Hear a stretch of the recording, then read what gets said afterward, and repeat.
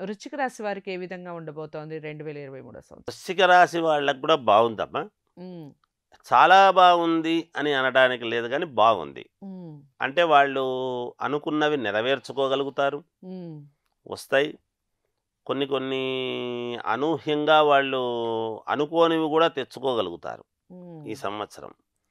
ఏదైతే వస్తాయో ఇవన్నీ ఒక రకమైతే వాళ్ళు చేసేటువంటి పనుల్లో కావచ్చు ఉద్యోగంలో ఉత్తీర్ణత కావచ్చు ఇంతకాలం ఎదురు చూసింది రానివి రావచ్చును.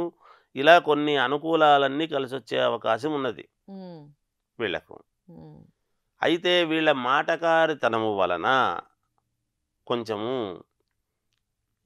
వాళ్ళు చేసేటువంటి పై వాళ్ళు ఉంటారు కదా ఎవరికైనా సహజం కదా.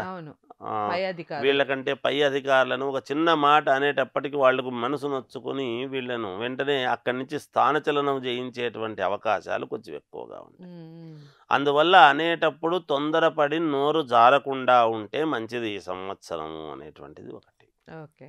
తర్వాత ఎక్కువగా వృశ్చిక రాశి వాళ్ళకు తల్లిదండ్రులతో కానీ కడుపాత్రమే. వెనక ముందు పుట్టిన వాళ్ళతో కానీ చిన్న మాటలు వచ్చేటువంటి అవకాశం ఉంటుంది. జాగ్రత్త వహిస్తే మంచిది. వీళ్ళు వీళ్ళ దగ్గర ఈ జాగ్రత్తలు ఎందుకు చెప్తున్నాము అంటే నేను మొదట్లో చెప్పాను. అవును. అంటే ఏదన్నా అన్నారు అంటే "ఆ, సరేలే అని నవ్వి ఊరుకుంటే ఒక మాట మనస్సుకు బాధ కలిగినటువంటి మాట అన్నా కూడా నవ్వి ఊరుకున్నారు అంటే వీళ్ళు మిగతా పనుల్లో జయం చేయడా సాధించేదానికి అవకాశాలు ఏర్పడతాయి.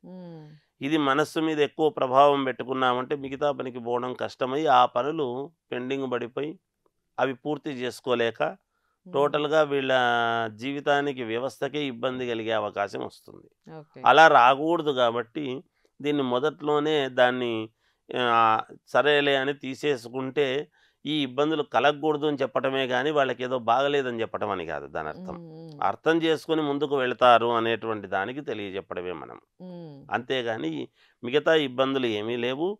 వాళ్ళది అనుకున్నట్టుగా గతంలో వచ్చిన దానికంటే ఈ సంవత్సరం కాస్త ఎక్కువగానే డబ్బు సంపాదిస్తారు.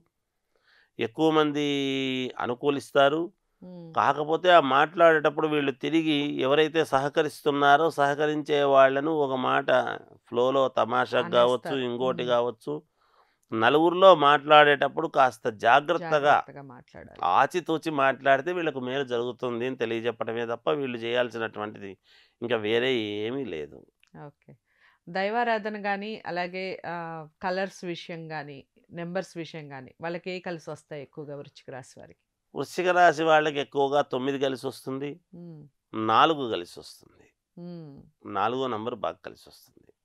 ఒకటి. దైవారాధనకు వస్తే అమ్మవారిని ఆరాధిస్తే మంచిది.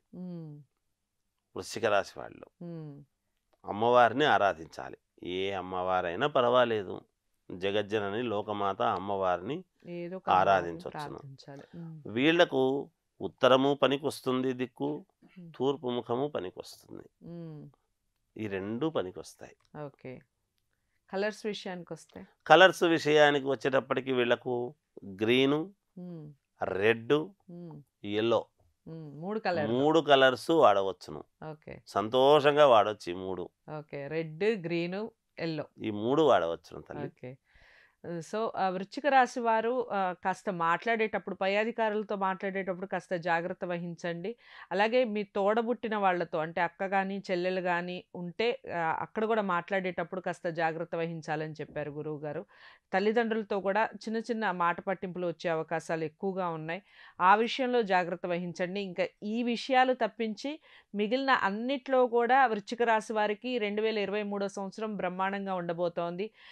నాలుగో నెంబర్ తొమ్మిది నెంబర్. నాలుగు తొమ్మిది బాగా కలిసి వస్తుంది గ్రీన్ రెడ్ ఎల్లో కలర్స్ బాగా కలిసి వస్తాయి తూర్పు ముఖము అలాగే ఉత్తర ముఖం వెళ్ళటానికి ప్రయత్నించండి. బాగా కలిసి వస్తుంది ఇక దైవారాధన విషయానికి వస్తే అమ్మవారిని ఎక్కువగా పూజించే అవకాశం ఉంటుంది. అమ్మవారిని ఎక్కువగా పూజించటం వల్ల మీకు సక్సెస్ రేట్ ఎక్కువగా ఉంటుంది. వృచ్చిక రాశి వారికి. చాలా బాగా వివరించారు గురుగారు ధన్యవాదాలు.